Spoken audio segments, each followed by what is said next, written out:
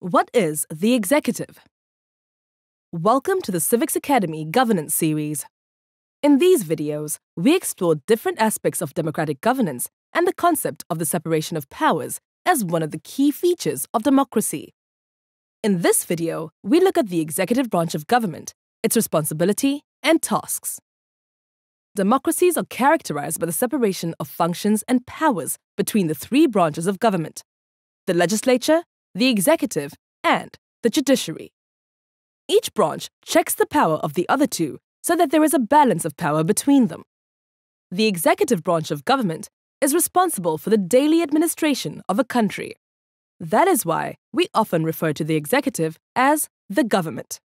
It carries out its own policies, implements the laws passed by the legislature, and ensures the decisions of the judiciary are implemented.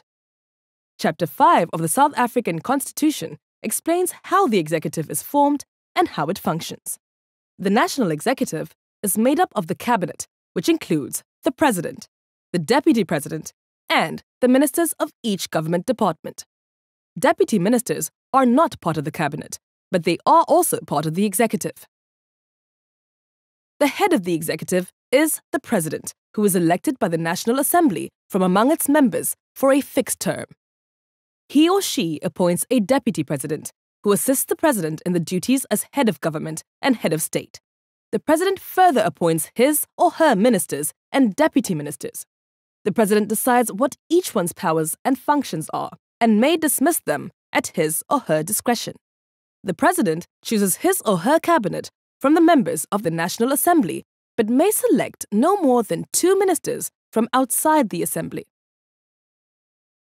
The ministers are the heads of different ministries, also referred to as departments.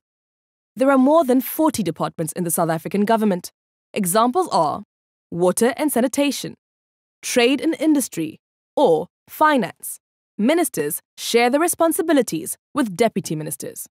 The deputy president and ministers remain members of the National Assembly and are also referred to as members of parliament or MPs. Each minister is accountable to the National Assembly for his or her department's work.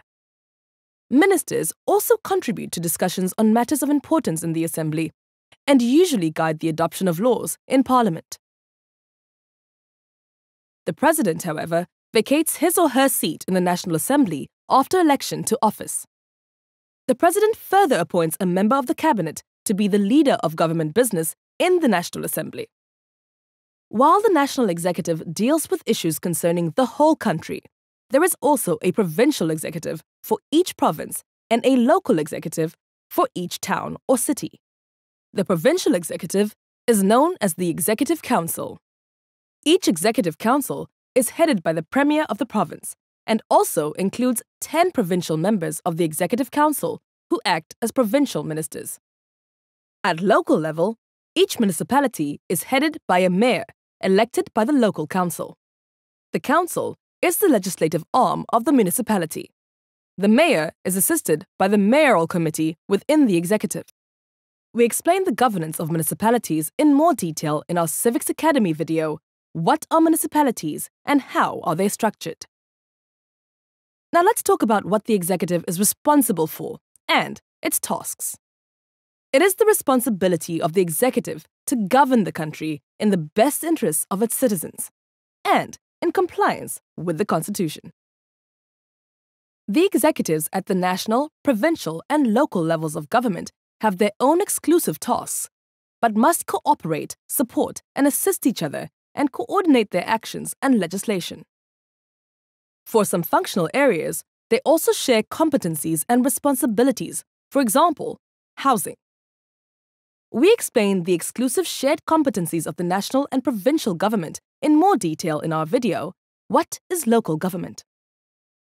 The executive further has the responsibility to ensure that the law is enforced through its respective departments and the South African Police Service. Each of the three branches of government checks the exercise of power of the other branches. The national executive is firstly accountable to Parliament. Parliament oversees the exercise of power and the work of the executive and checks that departments spend their money wisely. This control function happens mostly through the work of the National Assembly's oversight committees. Ministers regularly appear before these committees to explain their work to MPs and to justify their department's decisions and spending. The executive is further subject to the judgments and orders of the judiciary. The judiciary can check whether a minister or the president has complied with the constitution and can declare invalid any action by a minister or the president if the action is in conflict with any provision in the constitution. Summary The executive is the branch of democratic government that is constituted by the cabinet, which is the president, deputy president, and the ministers, and also the deputy ministers. The executive is responsible for the day to day administration and carrying out of national legislation and policies through the work of its departments. The executive operates at three levels of government the national, provincial, and local level. All of these levels of government have executive authority in their own spheres. Within the balance of powers, the executive is accountable to and is monitored by the legislature, and is subject to the decisions of the judiciary.